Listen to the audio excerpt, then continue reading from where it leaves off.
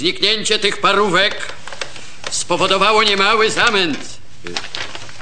To fakt. Był to jednak zamęt grubymi nićmi szyty i wiemy lepiej, jakiej propagandy kryje się za tymi nićmi. Z bliska to masz ze trzy lata więcej. Także ten mój mąż to niezła szuja, muszę ci powiedzieć. To on kazał mi się z tobą umówić, chociaż wie, że bardzo mi się podobasz.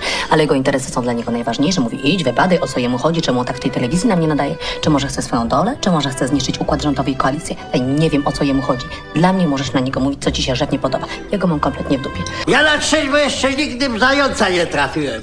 A po pijaku zawsze. Wszyscy mają mały, a ja duży. O Boże,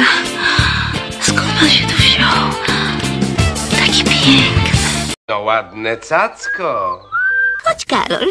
Wiesz, jak na mnie działa pełnia księżyca? Jak to psikuta? Mówiłeś, że nazywasz się Keller. No mówiłem, mówiłem, różne rzeczy mówię.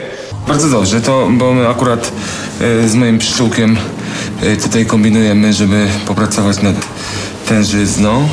Ale jedna tam miała bimbały. Halo, słucham. Halo Kazik? Nie, nie Kazik, Jola. Przepraszam, pomyłka. No to po co pan dzwonił? To po co pani podnosi słuchawkę? Bo zadzwonił telefon. No dobra, panowie. Ja będę mistrzu, ty będziesz cienki, a ty będziesz łysy. No a ja? Ty będziesz złoty. A czemu złoty? Bo się zlałeś w galoty.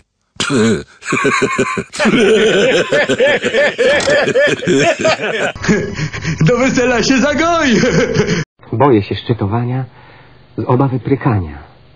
I tak oto prykanie wtrąca mnie w samotność. Myślisz, że facet ma jakiś kompleks czy coś?